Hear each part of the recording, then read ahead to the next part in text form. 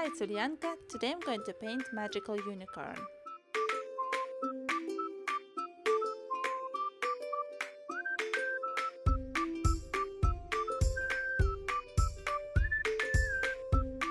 First I'm tapping with sponge loaded with two colors, white and blue.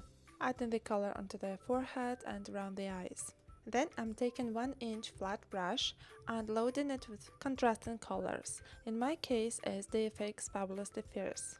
I'm starting with longer strokes at the top and shorter inside of the wing.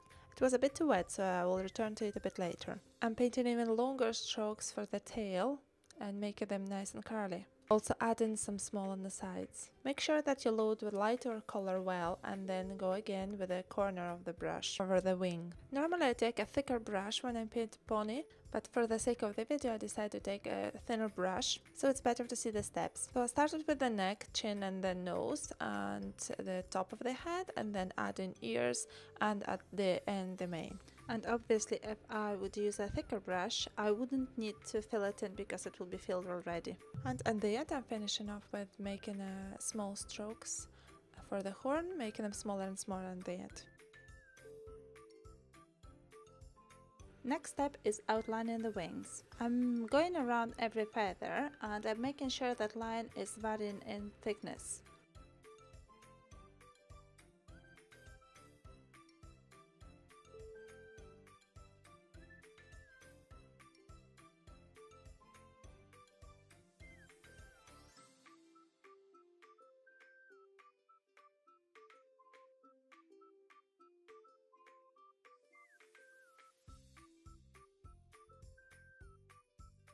Adding second wing as a shadow is optional step.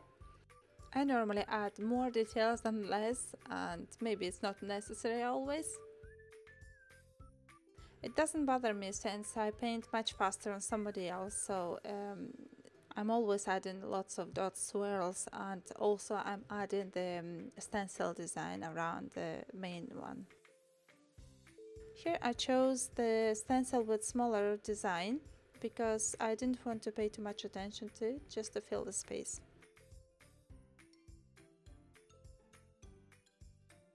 And again adding more color and details with pink teardrops. I wanted it to look like a real fairy tale, so I'm adding more and more dots uh, to make it look like a bubbly and sparkly. You can also add some glitter.